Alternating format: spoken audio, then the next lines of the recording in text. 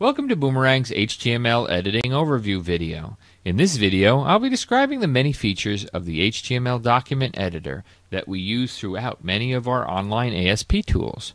The WYSIWYG HTML editor allows you to create great-looking HTML email messages and documents without needing to know any HTML coding. Before I get started creating my HTML email message, I wanted to point out a few features of the window you're looking at so we're all on the same page. Like many computer interfaces you've probably seen, there are a number of icon buttons at the top of the editor. These buttons give you quick access to the functionality that you would expect in any word processor as well as other offline HTML editors you may have used. There are buttons to manage the file and editing operations such as cut, copy, and paste. There are buttons that insert many common features such as the current date and time, images from your image gallery, and tables.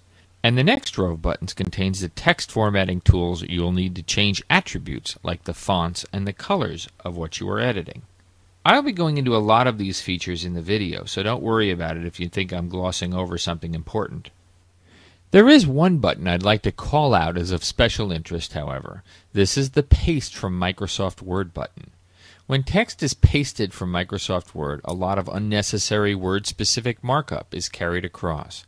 This can result in web pages that take an unnecessarily long time to download. The Paste from Word button solves this by removing word markup before pasting the text into your page. Then down at the bottom of the window are the three buttons that let you move between modes. There is the normal view, the one we're looking at right now, that lets you view the document in WYSIWYG or what you see is what you get format. There is an HTML view that lets you view the sometimes scary HTML code for what you're creating. And then there is the preview mode that lets you see what the document would look like in a browser such as Internet Explorer. Now on to the demonstration. To demonstrate the editor, I'm going to show you two examples. In the first example, I'll create an email message from scratch with some text and some graphics from the image gallery. In the second example, I'll show you the template gallery containing dozens of professional, ready-to-use email messages where all you have to do is replace some text and send. I'll start by typing in a simple text message I might send out to my customers. You can see that I'm in normal mode and I'm just simply typing in text and not doing anything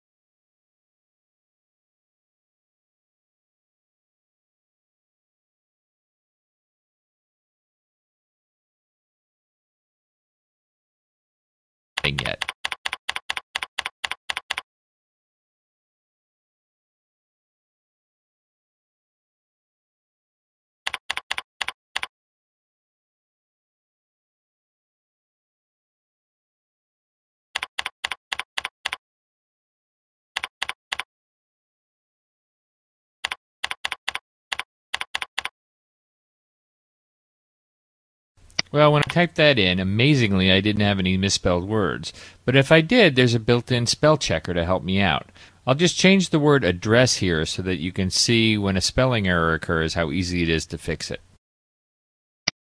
And you can easily see that the misspelled word is highlighted and I can easily choose from a drop-down menu the right word.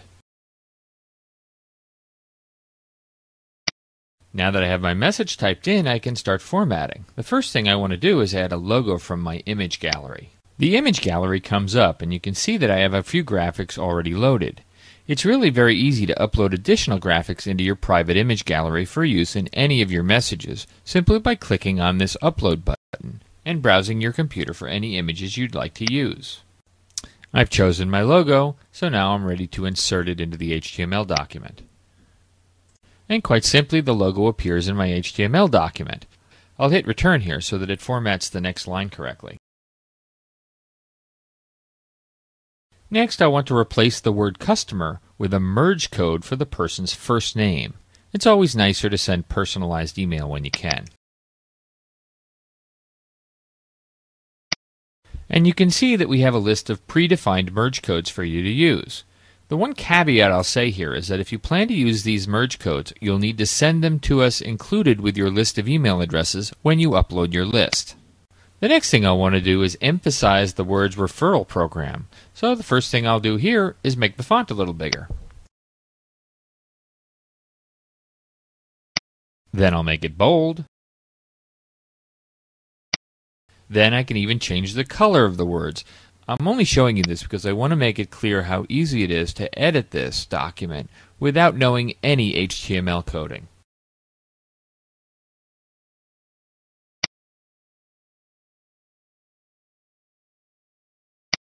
Next, I want to add my picture from my image gallery.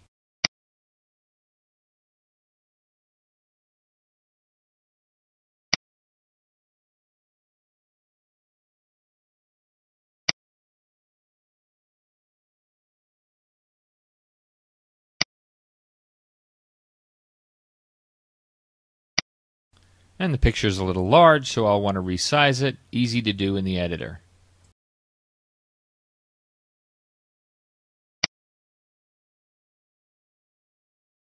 But I'm not really happy with the formatting of this, so I'm going to add a quick table from the table buttons at the top so that I can format this a little nicer. You can see that I can easily format the table by choosing how many rows and columns there'll be in the initial table. I can always add rows and columns later if I choose. And now that my new table is in place, I can easily cut and paste the pieces that I want and reformat the table so that it looks a lot nicer.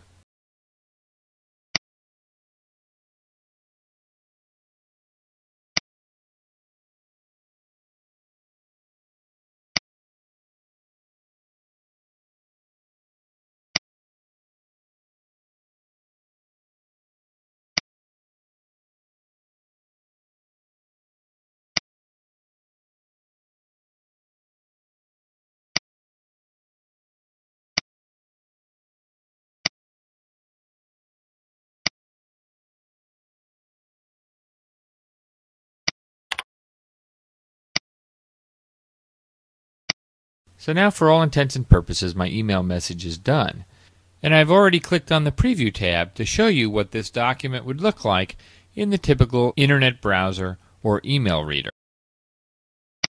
And now I've clicked on the HTML tab to show you the underlying HTML code that makes up our document. Remember, we didn't have to write any HTML to produce this email message. It was all produced automatically through the WYSIWYG editor.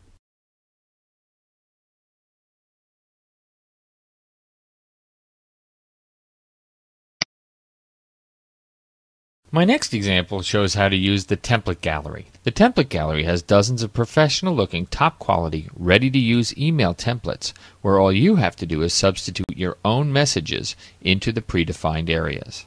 I'll start this by clicking on the template gallery button at the top of the window. You'll notice when the template gallery comes up, there's already a number of predefined categories of templates for you to choose from, from business and professional to newsletters to service announcement. Under each of these is a number of different templates that you can choose. I'm going to choose the business and professional category for this example. Next, you'll see a list of the actual templates that are available under that category. And by just clicking on them, you'll see a preview of the template.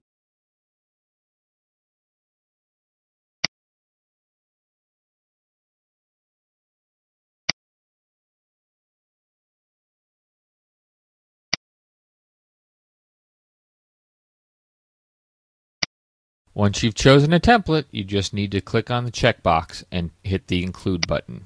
Now you can see that the template gallery has copied the entire template into my email message. And now I can edit it as I choose to change both the text and the graphics and the formatting if I want.